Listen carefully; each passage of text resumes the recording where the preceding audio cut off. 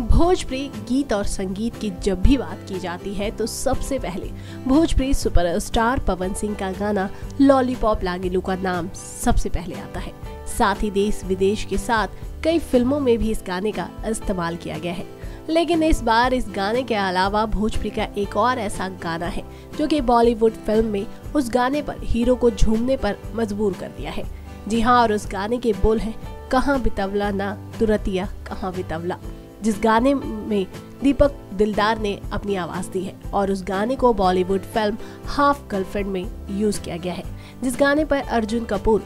Film में अपने दोस्तों के साथ झूमते हुए नज़र आते हैं और इसी बात की खुशी ज़ाहिर करते हुए आज सोशल मीडिया पर दीपक दिलदार का एक इंटरव्यू वायरल हुआ और अपने इस गाने की सफलता से वो काफ़ी ज़्यादा खुश है और वो कोशिश कर रहे हैं कि वो भोजपुरी में इसी तरह के टॉप गाने लेकर आते रहें। नेक्स्ट नाइन न्यूज़ भोजप्रिया से प्रियंका की report start your career with us.